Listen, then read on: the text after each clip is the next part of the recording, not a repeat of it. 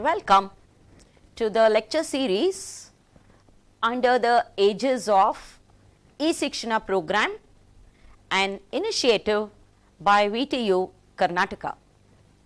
This is Professor Uma Rao bringing you the lecture series on transmission and distribution. So, in my last session, we solved a number of problems in the distributor where we have loads, concentrated loads at different points and we specified the power factor of the load with respect to the receiving end voltage and solved some problems for the drop in the various sections, for the sending end voltage, sending end power factor, etc. So, in this session, let us continue with the numericals we did in the last session. So, now let us consider an example. So, I have a single phase distributor with an impedance of 0.1 plus j 0.15 ohms per conductor. At the far end, the voltage VB is equal to 200 volts and the current is 100 amps at 0.8 pf lag. At the midpoint, I have a load drawing 100 amperes at a power factor of 0.8 lag with respect to the voltage of the midpoint. Calculate the midpoint voltage, that is the problem. So, you see here I have a distributor again let us just recap the difference between the distributor and the feeder. The feeder normally does not have tappings whereas the distributor has tappings in between. But I told you in the previous session that you can very commonly they interchange the two words. Okay. So, I have a line and it is 200 volts. So, you can see here midpoint is M and it is given this is 500 meters and this is 500 meters and the receiving end voltage this is 200 volts VB and there is a current of 100 amperes 0.8 PF lag and similarly here I have a current of 100 amperes 0.6 lag, but now it is not with respect to VB, it is with respect to VM. As we discussed this is more common because the equipment power factor is on the rating of the voltage of across the equipment. So, when you have a motor let us say I have a 5000 HP motor and I say the power factor is 0.82 that means the motor will draw a current lagging the voltage at a power factor of 0.82. So, this is a more meaningful data. So, now I have to calculate the midpoint voltage. So, total impedance of the distributor is 2 into 0.1 plus j. So, why did I multiply by 2? If you look at the data, it says it is a single phase distributor and the impedance is 0.1 plus j 0.15 ohms per conductor. So, in a single phase system you have to take the loop. So, if this per conductor were not mentioned you can assume that it is a single phase taken out from the three phase system. Okay. But since it says per conductor that means it is a single phase system itself with two wires and this is the impedance of each wire, each conductor. So, that is why it is multiplied by 2. Now, impedance of section AM, so this is the entire distributor. So, of section AM is 0.1 plus j point half because I have a load at the midpoint. I have a load at the midpoint. So, now let us take the receiving end voltage that is the voltage at point B as the reference. The receiving end voltage is the reference. So, that is equal to 200 plus J 0. That is the meaning of reference. Reference means that phasor quantity is at an angle of 0. So, vector is only for drawing, but the correct word is phasor. Okay. It is phasor. Though all the phasors we represent by vector diagram, it is a, it's a phasor. Phasor means what? Phasor is a representation of a sinusoidally varying quantity. Okay. Whereas a vector is a spatial quantity. Vector is a spatial quantity. Are you clear? So, phasors and vectors, though we solve them with the same mathematics using vector diagrams, they are two entirely different things physically. For example, if you say I have a force of 10 at an angle of 30 degrees, that means if this is my reference, then I have a force actually acting at 30 degrees in space. Okay. But if I say I have a conductor carrying a current of 10 at an angle of 30 degrees, I don't mind, I don't mean that the conductor is aligned at 30 degrees, no. What do, what do I mean? I mean that the current is, current through the conductor is sinusoidal and has an RMS value of 10, normally we represent the RMS values and it is at an angle of time, phase angle at an angle of 30 degrees with respect to some re reference phasor. So, be very clear phasors are not vectors. Okay. Next, the load current at point B, if you see here, this is with respect to VB with respect to VB 0.8 lag with respect to VB. So, the load current will be 100.8 minus J. So, this is with respect to VB clear. Now, let us take the section MB. So, the current flowing through this section is this current I 2 clear fine. The current in section MB is I 2 is equal to 80 minus J 60 80 minus J 60. Therefore, VMB the drop the drop in the distributor sector MB is the current through it into the impedance. So, this is the current that is the current I 2 this is the impedance. So, Vm is simply 217 plus J 6 that is all. This is the midpoint voltage.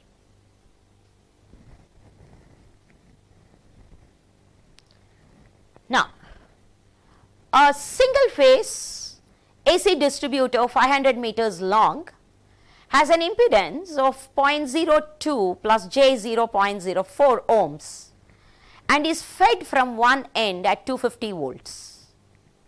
The loads are as follows 50 amperes at UPF 200 meters from feeding point and 100 amperes at 0.8 pf lag 300 meters from feeding point and 50 amperes at 0.6 pf lag at the far end. Calculate the voltage at the far end, state any assumptions made. So, first let us draw the network. So, I have point A, its totally AB is the le length, it is 500. So, at 200 meters I have 50 amps, at the next 100 meters I have 100 amps and then again at the far end I have 50 amps. The figure is fairly easy to draw. Now, where is the question of assumption? Where is the question of assumption? Right. So, the data missing here is this PF that is the angle, current angle is with respect to which voltage that is not mentioned. So, you can solve the problem by assuming that these power factors UPF 0.8 lag, 0.6 lag is with, with respect to the respective voltage buses or with respect to the receiving end or with respect to the sending end. Okay. Now, I have solved it by assuming the PFs are all with respect to the receiving, with respect to the feeding end that is the sending end. So, let us see what to do. That is simpler for me because I know the sending end voltage that is all. So, the current in section AD, the first section, the current in this section would be the sum of all these three currents, right. It would be this plus this plus this. So, it is 50 at UPF, 100 at 0.8 PF and 50 at 0.6 PF. Again just see here. So, this current source current is sum of this current, this and this here. So, that is equal to 160 minus J 100. So, now you see why very smartly I took the sending end as the reference because I know the sending end voltage it is easy for me to calculate. Okay. Now, the impedance of the section AD, AD is 200 meters, you are given the total impedance, in this case the total impedance is given so you do not have to multiply by 2, you have to multiply it by 2 only if it is mentioned per conductor. A single phase system and this is the impedance per conductor means they have taken only half of the resistance so multiply by 2.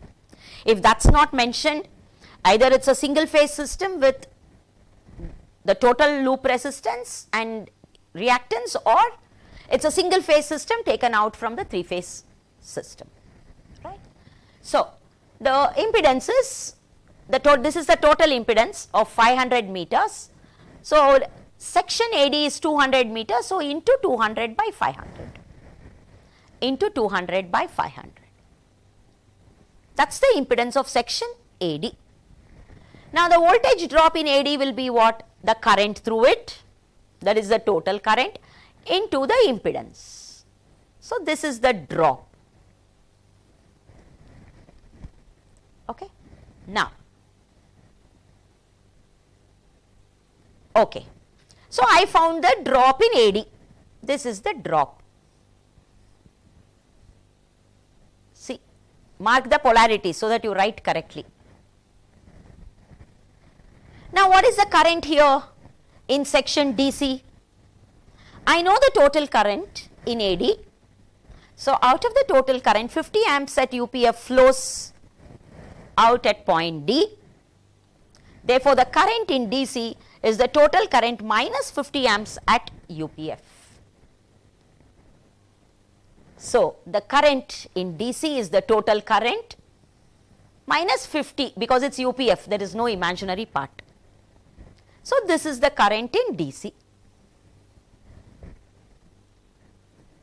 Now, impedance of DC, DC is 100 meters. So, it will be one fifth of the total impedance so, this is the impedance of DC and the drop in DC or CD would be the current. So, sorry this is 110 current this is the current minus the impedance sorry the current into the impedance. So, this is the drop in section DC. So, now the impedance of DC is this, drop in CD is this. Next, the current in CB.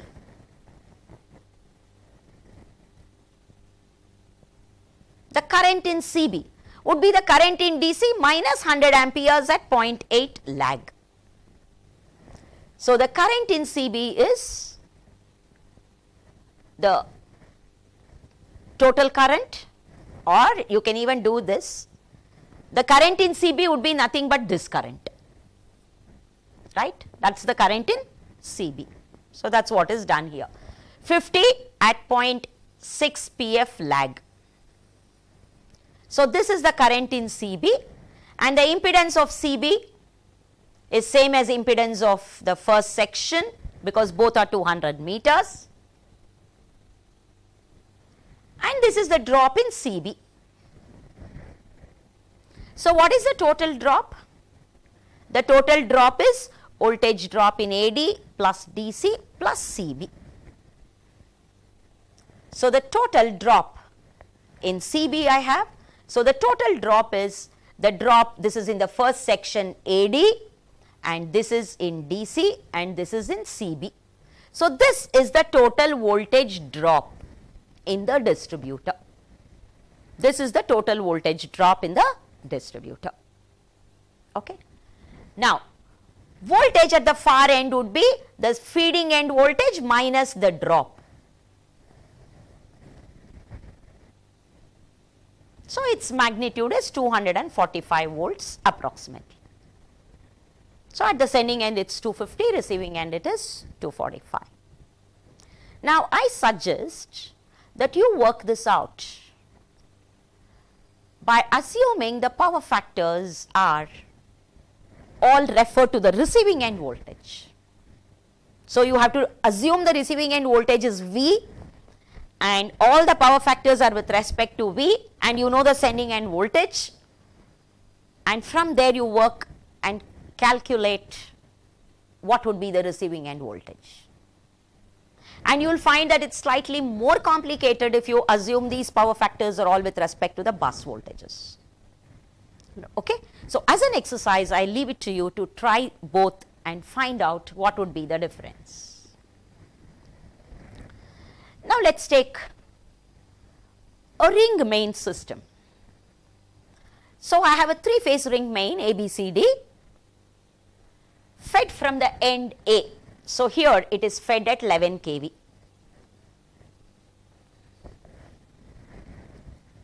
Fed from end A at 11 kV and supplies balanced loads of 20 amperes 0.9 pf at B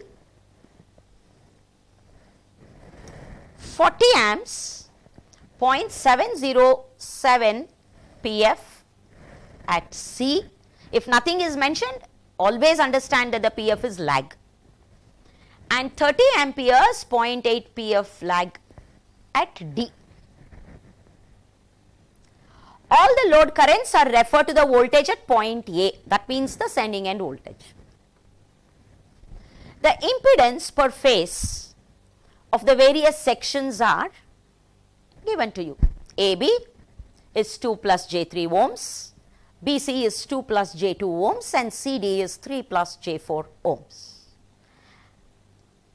and DA is 2 plus J 3 ohms. So, it is a ring main closed loop.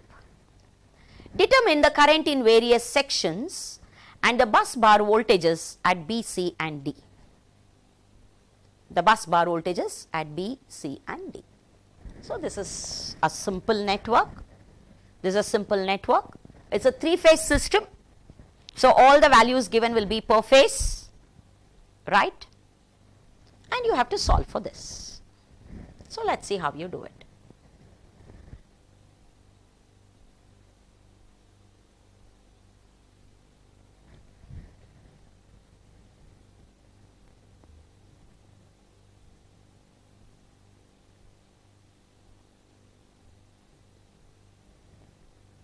Okay. So, first let us assume take the section AB. Okay. I take the section AB. We start from there. Simple solve it like how you would solve a network theory problem. How you would solve a circuit uh, in, in circuit theory, how you would solve it, just solve it that way. So, let us assume that the current in section AB is x plus jy amps. I start from there. So, you see here. So, here I assume it is x plus jy current. So, that is the current entering this bus, right, the current entering that bus and this is a node, this bus is a node, you think of it as a node similar to a node in your circuit theory. So, this is entering and out of this current 20 amps 0.9 pf lag is drawn from that bus. So, if you want a circuit equivalent it is like this. So, this is node B, okay, node B. And I have the current entering. And I have the current leaving. So, now the current coming out here. Would be this the current entering minus the current leaving. That is what we have done. So, it would be x plus jy minus 20 amps it is drawing at 0.9 pf Okay.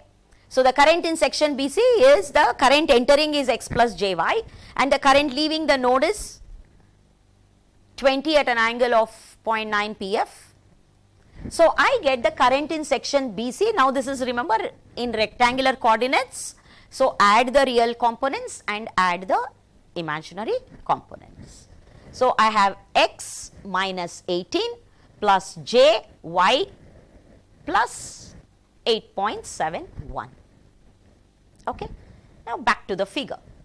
So, now I have found the current here, I have found the current here and so this current is drawn. So, the current here through this section would be the difference of these two that is what is done. So, the current in section CD is the current in BC minus the current drawn at node C. The current drawn is 40 at a PF of 0.707. Clear? So, I get this current. I get this current. Now, the current in section DA here. So, this is the current entering, this is the current leaving. So, the current here would be the current entering and it draws 30 amps at 0.8 pf. So, this is the current in section DA. Clear? So, now what do I know? I know the currents, I know the currents in all the sections. I know the currents in all the sections in terms of variables x and y, in terms of variables x and y. I also know the impedance of all the sections. I also know the impedance of all the sections. So, therefore, I can find the voltage drop in all the sections. So, the voltage drop in section AB, the current through AB is x plus jy into the impedance. Again you get everything in terms of x and y, x and y are the two unknowns. Similarly, the voltage drop in section BC is the current flowing through BC into the impedance. Likewise, the voltage drop in CD is the current through that into the impedance. Simple, put everything in rectangular coordinates. Okay. And voltage drop in section DA is the current through it into the impedance.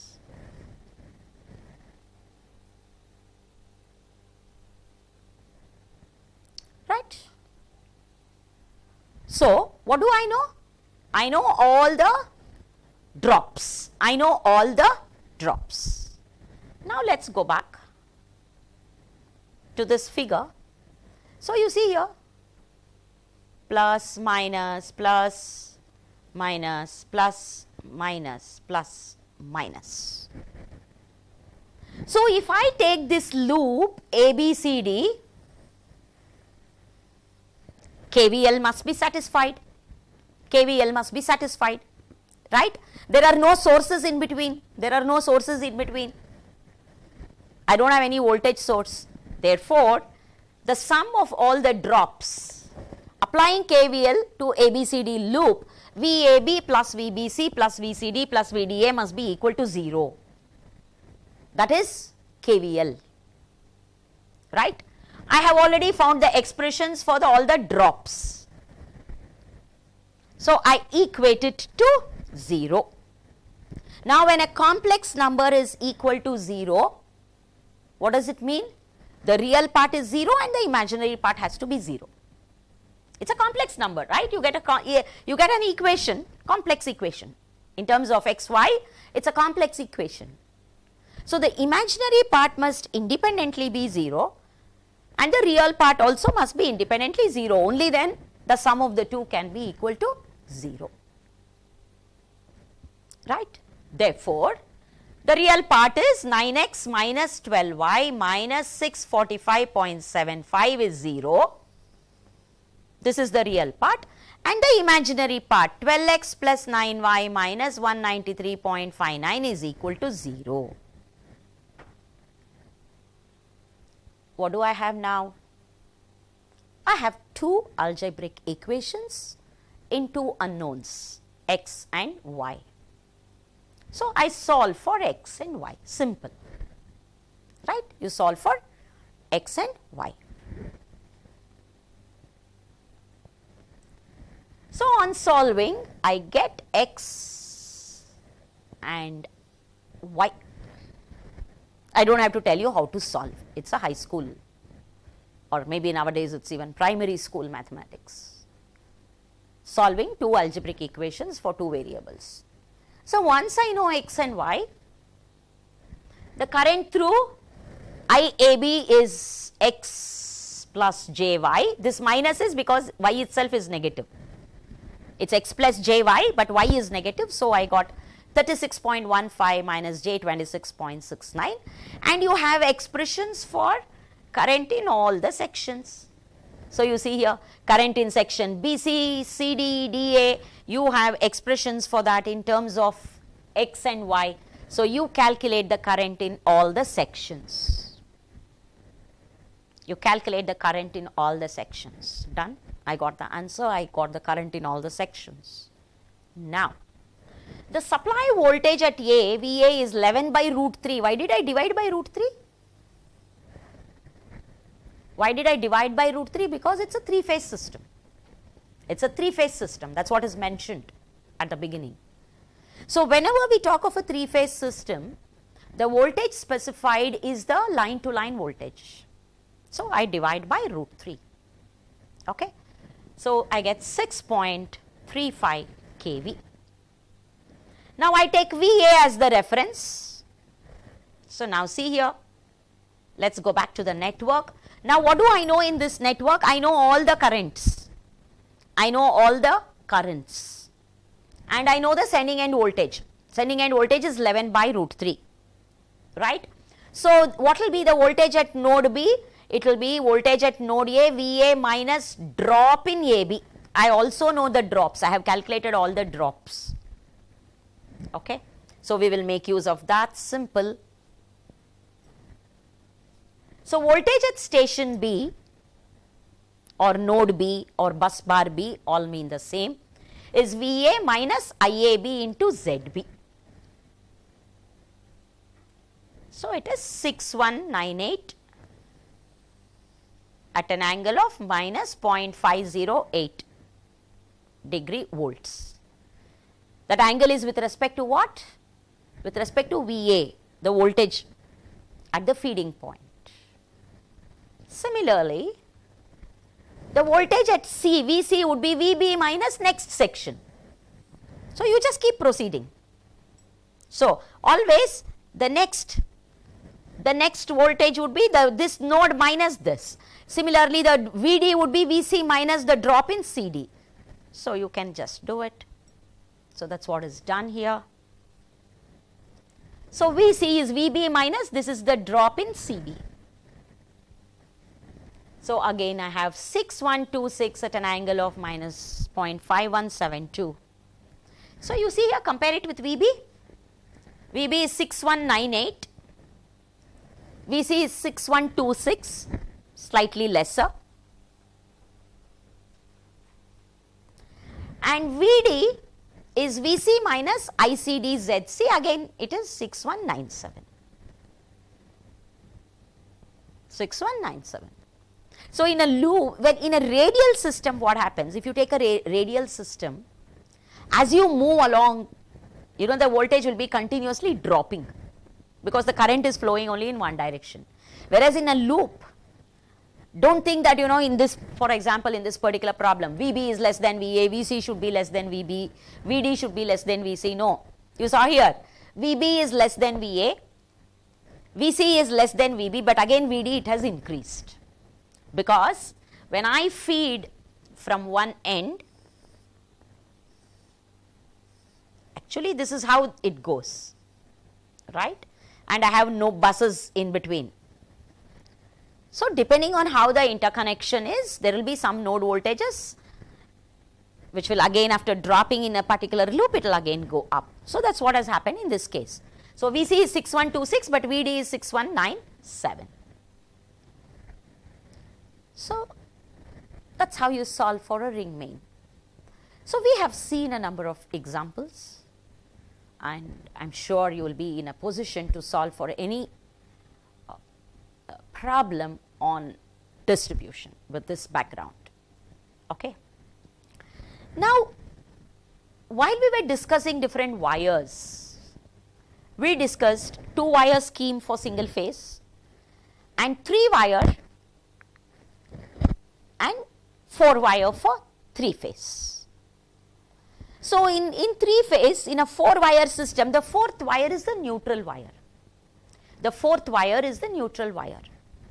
What happens? It will carry any unbalanced current. So, the neutral current is IR plus IY plus IB. So, when the system is perfectly balanced, the sum will be equal to 0.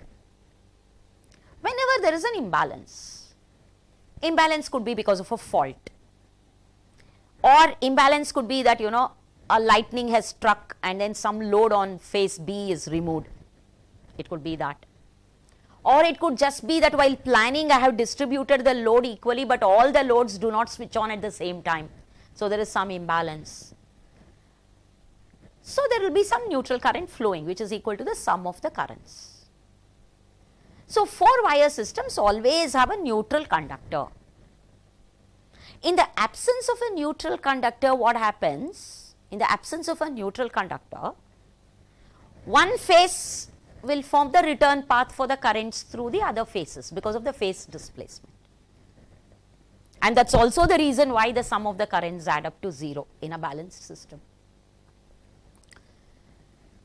So, this neutral current normally it will carry lesser current because the unbalance is less. The system unbalance will not be too high a percentage. So, the neutral points of generators, transformers and loads are all normally grounded giving a common reference. So, you would find how do I represent that? Normally if it is a generator, star connected generator,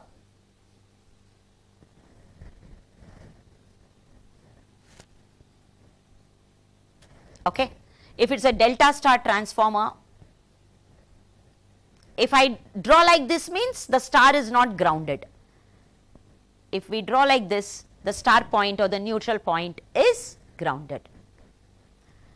A neutral wire also allows the three phase system to use a higher voltage while still supporting lower voltage for single phase appliances. So, you can have, you have line to line voltage, so you can draw equipment, you can connect at a higher voltage and you can also connect between line and neutral, you can also connect three phase loads. So, you have a number of possibilities if you have the neutral wire. Now, what happens if the neutral wire breaks?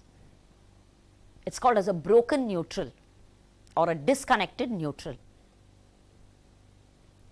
So, if the neutral conductor is opened say at the source side of the distribution transformer or the generator or at the load side, then the reference point will float. That means the voltage of the neutral point will keep shifting.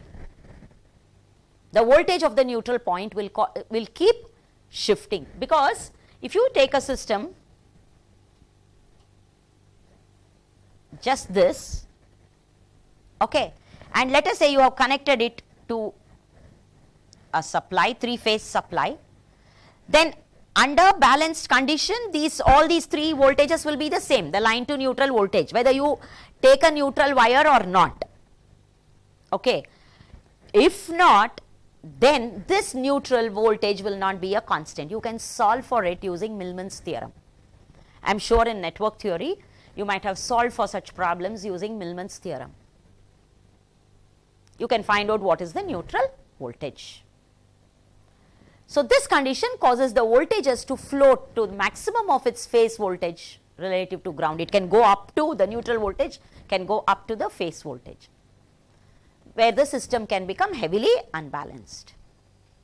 So, this can have a very severe impact on the system and it will depend on the type of supply you have, what sort of an installation and how you have done balancing in the distribution system and so on.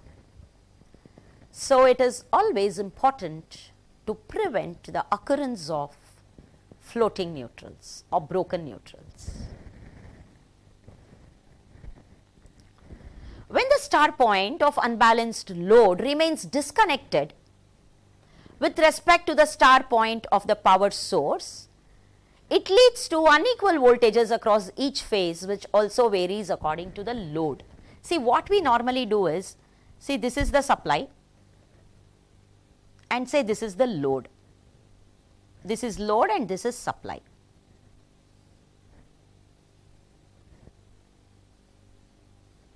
We do a connection like this. The supply is balanced because my generators are balanced, transmission lines are balanced, supply side is balanced. So, now I connect this neutral to this neutral. When I connect the neutral, what happens? The supply voltage is balanced. So, all the three phases here will get the line to neutral, will get a balanced supply, will get a balanced supply. Okay. So, let us assume this is a motor, this is a motor and maybe winding in one of the phases there is a short circuit. So, the load is unbalanced, the load is unbalanced, but the voltage supply will be balanced because I have I have connected these two neutrals. So, once you connect these two neutrals the current here will be small.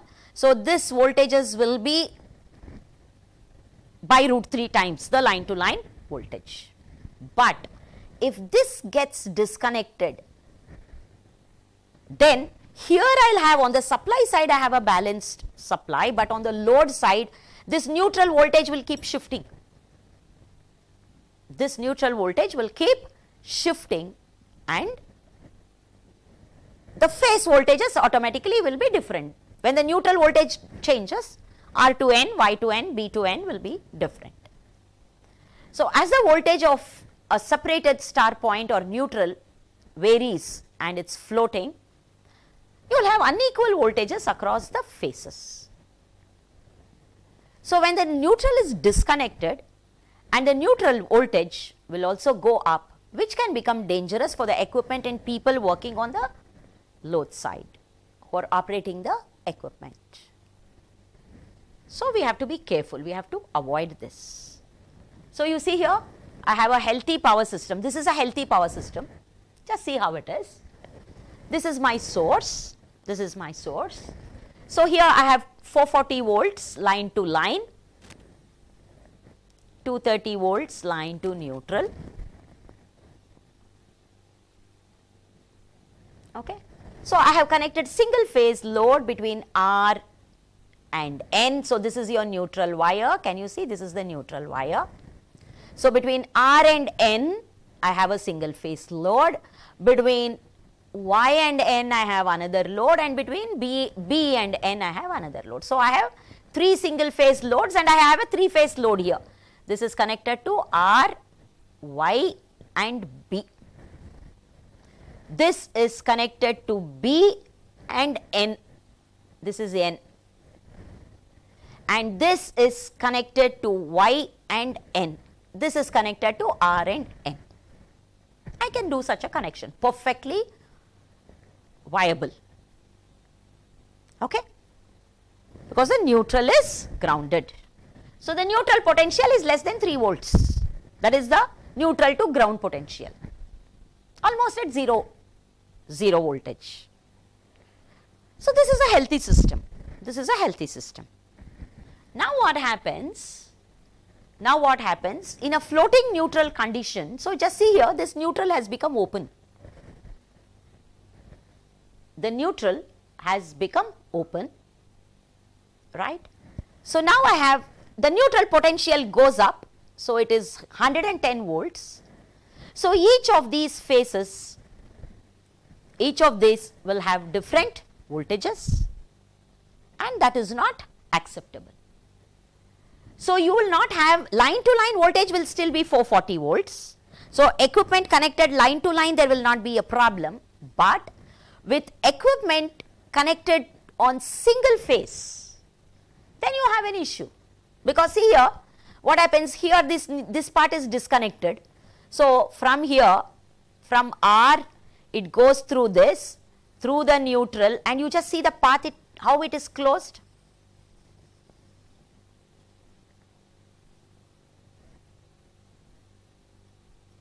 So, from here it can divide here so on. So, the potentials across these loads will not be the same. The potentials across the three loads will not be the same. The three phase load may run properly because it is not affected by the neutral voltage and by disconnecting the neutral I have no issue with the line to line voltages that is still maintained at 440 volts. But the single phase volts the voltage will go down in one of the phases and the voltage will go up in some phases and this can damage the equipment. So, floating neutrals should always be avoided. So, what are the factors first of all which lead to such a floating neutral? The use of line tap on transformer bushing is the main reason for neutral conductor failure. What happens? In this case the nut on the line tap gets detached because of vibrations and temperature variations resulting in hot connections and due to this the conductor starts melting and results in disconnected neutral. This is one of the main reasons. This may damage the equipment connected to the supply side also. Next, detached overhead neutral conductor something may have fallen on the neutral conductor and it snaps. So, this causes the supply voltage to float up on the line voltage instead of the phase voltage. This leads to damage of the customer equipment. The other cause is detached service neutral conductor that is on the service side the neutral conductor comes off, but it, it can result in loss of supply to the consumer because the consumer loads are connected between line and neutral. High earth resistance. So, I showed in the figure that the neutral to ground voltage is 3 volts. So, minimum value of earth resistance of neutral provides low resistance path for neutral current. Whereas, if the earth resistance is high then there is no path for the neutral current. So, you I think you know whenever they do grounding they put salt and they put solid copper plates or conductors and do a solid grounding. This is the reason. Okay. If the value is limited that means the ground resistance is minimized then it will allow sufficient fault current through flow through the neutral to the ground and minimize neutral shifting. Distribution system overloading so, overloading may cause improper distribution in the three phases,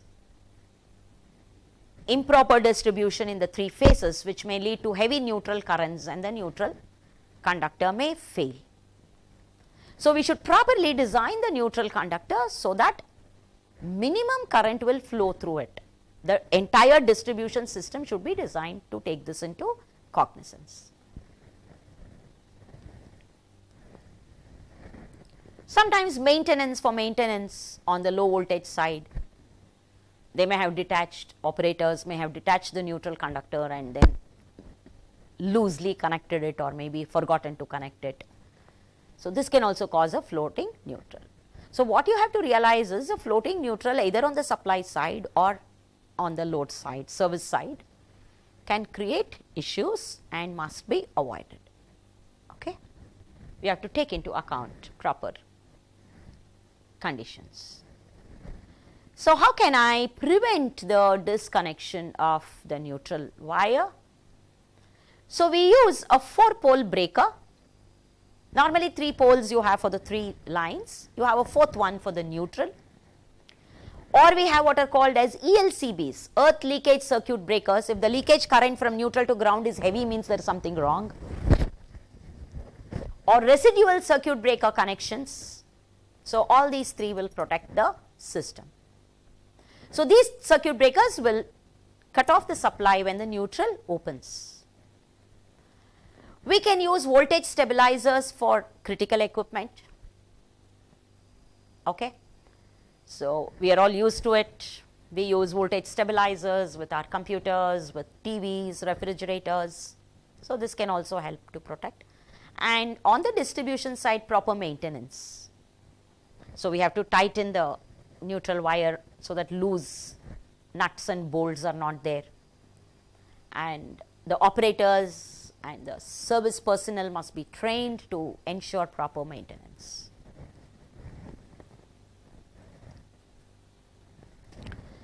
So, we saw quite a few things in the session and we next move on to another very important topic in power systems that is the reliability of the distribution system. So, if you look at the number of components, so the entire power system has generation, transmission and distribution. So, if you look at the number of components, the number of components are large in the distribution system, clear? Because all the loads are connected at the distribution system. So, and the variety is huge and you might be using some DC uh, loads and you would be converting AC to DC to charge it and then you have uh, lagging loads, lagging over different power factors, you have industries drawing power at different voltage levels. So, it is very, very complex, the entire distribution system. So, generally whenever we talk of reliability in the power system, so if you look at any content on reliability, a major focus is on the reliability of the distribution rather than on transmission and generation. And what do you mean by reliable for any product? So, if I say I have a mobile, my mobile is reliable, simple, that means it does not break down. When I want to make a call, I can make a call, it is reliable, my network is reliable, right. My watch is reliable, that means it is functioning properly. One is it should function in, as a condition for reliability, it should function and second is it should function properly. So, I will give you a very simple difference. I have a watch, my watch is functioning, it is running, but then it is not running on time, it is not showing me the correct time. So, it is not enough if it just runs, it should also show me the correct time, right. So, reliability includes the operation and the quality of the operation, how good it is, both are included in reliability. So, in the next sessions, we will see how we define reliability and what are the factors on which reliability depends in the distribution sector. Thank you.